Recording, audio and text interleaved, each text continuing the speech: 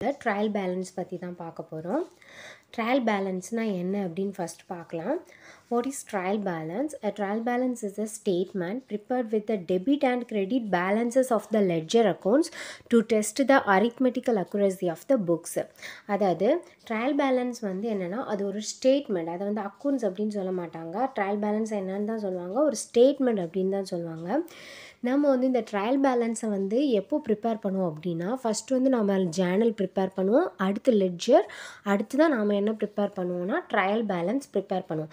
இந்த trial balance வந்து எதுக்காக ப்ரிப்பேர் பண்ணுறோம் அப்படின்னா நம்ம புக்கில் வந்து அதாவது அக்கௌண்ட்ஸ் புக்கில் எழுதியிருக்க எல்லா டிரான்சாக்ஷன்ஸுமே நம்ம கரெக்டாக அரித்மெட்டிக்கல் அக்குரஸ் எதுவும் எந்த தப்புமே இல்லாமல் கரெக்டாக நம்ம என்ட்ரு பண்ணியிருக்கோமா?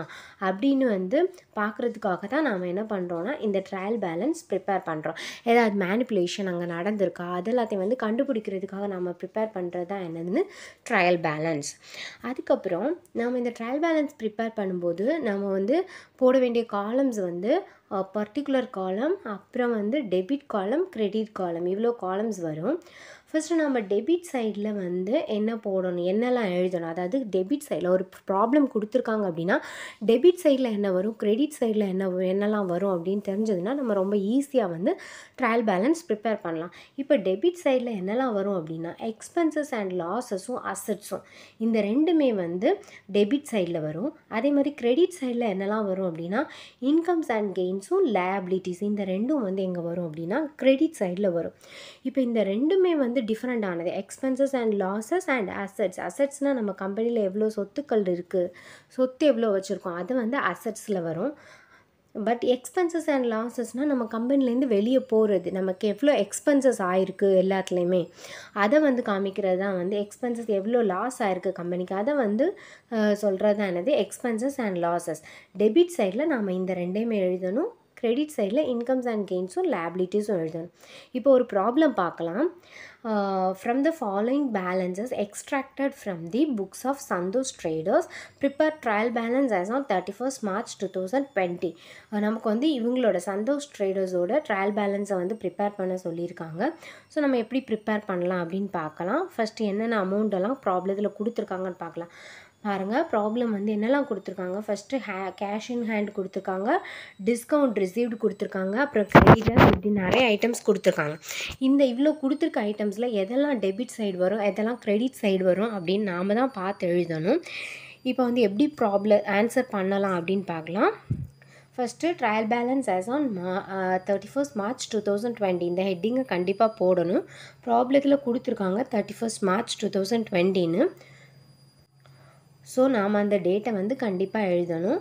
இப்போ ஃபஸ்ட்டு நம்ம அந்த கா ஃபார்மேட் என்னெல்லாம் வரும் அப்படின்னு பார்க்கலாம். ஃபஸ்ட்டு ட்ரையல் பேலன்ஸில் வந்து என்னெல்லாம் வரும் அப்படின்னா ஃபர்ஸ்ட் காலத்தில் வந்து பர்டிகுலர் எழுதணும். செகண்ட் காலத்தில் எல்எஃப் எல்எஃப்னா லெட்ஜர் ஃபோலியோ நம்ம இதில் எதுவுமே எழுத வேண்டாம். பட் இந்த காலம் நீங்கள் என்ன பண்ணணும்னா கண்டிப்பாக போட்டிருக்கணும். சரியா? அடுத்து என்ன அப்படின்னா அடுத்த காலத்தில் டெபிட் சைடு என்ன என்னென்ன அம் இதெல்லாம் வருமோ அதோட அமௌண்ட்ஸ் எழுதணும். அதே மாதிரி கிரெடிட்ஸ் கிரெடிட் காலத்தில் எந்தெந்த ஐட்டம்ஸ் எல்லாம் கிரெடிட்டில் வரும் அதை எழுதி அதோட அமௌண்ட் எழுதணும். சரியா? இதான் வந்து ட்ரையல் பேலன்ஸோட ஃபார்மேட் ஃபஸ்ட்டு பர்டிகுலர் அடுத்து எல்எஃப் அடுத்து டெபிட் அடுத்து கிரெடிட் இவ்வளோ பட் ட்ரையல் பேலன்ஸோட ஃபார்மேட் அடுத்து ஃபர்ஸ்ட்டு பாருங்கள் கேஷ் இன் ஹேண்ட் எவ்வளோ கொடுத்துருக்காங்க? Eleven thousand cash in hand வந்து நமக்கு அசட் அப்படின்னு தெரியும். ஸோ அசட் எல்லாம் வந்து எந்த சைடு வரும்? நான் சொல்லியிருக்கேன் அசட் வந்து டெபிட் சைடில் வரும். ஸோ நீங்கள் என்ன பண்ணணும்? கேஷ் இன் ஹேண்டுன்னு போட்டு அசட் வந்து கிரெடிட் சைடில் அதோட அமௌண்ட்டை எழுதணும். கேஷ் இன் ஹேண்டுன்னு போட்டுட்டு சாரி கேஷ் இன் டெபிட் சைடில் அசட்ஸ் எல்லாம் டெபிட் சைடில் வரும். ஸோ நம்ம என்ன பண்ணணும்? கேஷ் இன் ஹேண்டுன்னு போட்டு டெபிட் சைடில் லெவன் தௌசண்ட் அந்த அமௌண்ட்டை எழுதணும். அடுத்து என்னென்னா டிஸ்கவுண்ட் ரிசீவ்டு நாம் வந்து டிஸ்கவுண்ட்டை ரிசீவ் பண்ணுறோம் இது வந்து ஒரு இன்கம் இன்கம் அண்ட் கெயின்ஸ் நமக்கு எங்கே வரும் அப்படின்னா கிரெடிட் சைடு வரும். ஸோ நம்ம என்ன பண்ணுறோம் கிரெடிட் சைடில் சிக்ஸ் ஹண்ட்ரட் எழுதுகிறோம் அடுத்து தேர்ட் இது என்ன கொடுத்துருக்காங்க? கிரெடிட்டாஸ் கிரெடிட்டாஸ்னால் நம்ம என்ன சொல்லுவோம்? கடன் இந்தோர் அப்படின்னு சொல்லுவோம் இது நமக்கு என்னான்னு தெரியும்? லேபிலிட்டிஸ்ன்னு தெரியும். லேபிலிட்டிஸ் எல்லாமே எந்த சைடு தான் வரும்? கிரெடிட் சைடு தான் வரும். ஸோ கிரெடிட்டர்ஸ் வந்து thirty thousand credit side uh, எழுதணும். லயபிலிட்டிஸ் எல்லாமே கிரெடிட் சைடு ஸோ கிரெடிட்டாஸ் வந்து ஒரு லயபிலிட்டி ஸோ நம்ம அதை கிரெடிட் சைடில் எழுதியிருக்கோம். அடுத்து என்ன கொடுத்துருக்காங்க? பில்டிங் பில்டிங் நமக்கு அசட்டுன்னு தெரியும். அசட்ஸ் எல்லாமே எந்த சைடு வரும்? டெபிட் சைடு வரும்.